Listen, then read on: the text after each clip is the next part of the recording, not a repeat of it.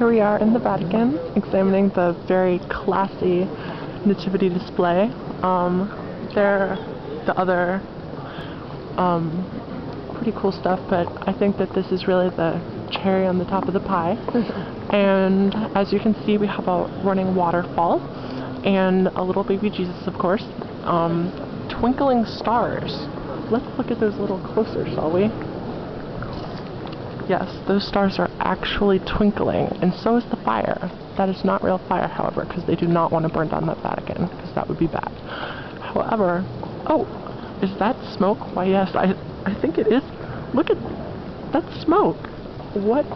This is a highly technological display in a place that is thousands and thousands of years old. So I'm really glad that they're renovating and updating it with the times. So just thought I would share that with you guys.